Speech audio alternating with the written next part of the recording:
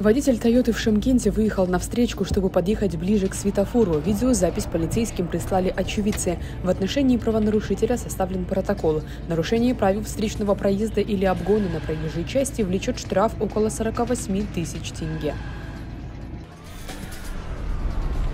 Вооруженного, ранее судимого вымогателя задержали в Шимкенте. В управлении по борьбе с организованной преступностью поступила информация о местном жителе, вооруженном огнестрельным оружием, который занимался криминальными разборками и вымогательством. Мужчина ранее был неоднократно судим за совершение тяжких преступлений, в том числе за похищение человека и незаконное лишение свободы. Его задержание оперативники провели по месту жительства. Изъяли пистолет Макарова, три патрона к нему и нож. Данный факт зарегистрировали по статье «Незаконное ношение, перевозка, хранение оружия, боеприпасов и взрывчатых веществ». Проводится досудебное расследование. Мужчина арестован, назначена экспертиза.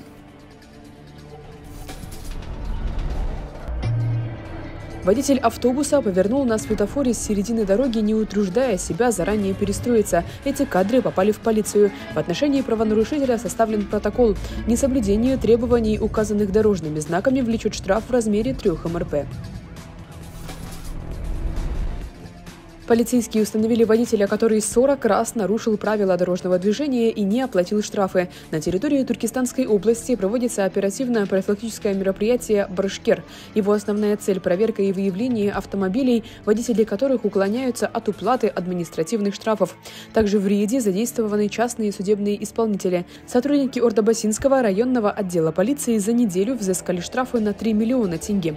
Так, на одной из улиц стражи порядка остановили автомобиль марки «Лада Прио» Приора. При проверке документов установлено, что водитель 40 раз нарушил ПДД и имеет неоплаченные штрафы в размере более 700 тысяч тенге. Автомашину водворили на штрафстоянку, а задолженность полностью взыскали. Предупреждаем жителей о необходимости своевременной оплаты административного штрафа. Рейды по взысканию наложенных штрафов совместно с судебными исполнителями будут проводиться на постоянной основе.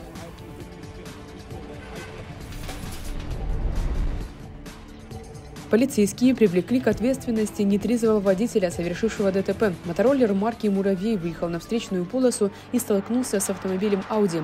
Пострадавших в ДТП нет, но транспортным средством нанесен материальный ущерб. При проверке стражи порядка установили, что водитель мотороллера управлял транспортом в состоянии алкогольного опьянения. Нарушителя доставили на медицинское освидетельствование, которое подтвердило среднюю степень опьянения. Данный факт зарегистрировали по статье управления транспортным средством человеком, лишенным прав и находящимся в состоянии алкогольного опьянения. Ранее за управление транспортным средством в нетрезвом виде водитель уже был привлечен к ответственности. Тогда за нарушение правил дорожного движения суд лишил его права управления транспортом сроком на 7 лет. Но мужчина не сделал выводы и повторно сел за руль автомобиля в состоянии алкогольного опьянения. В настоящее время по данному факту проводится досудебное расследование.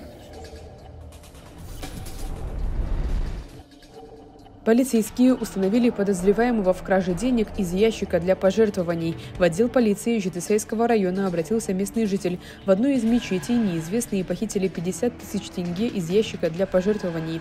Участковые приступили к розыску. Данный факт зарегистрировали по статье «Кража».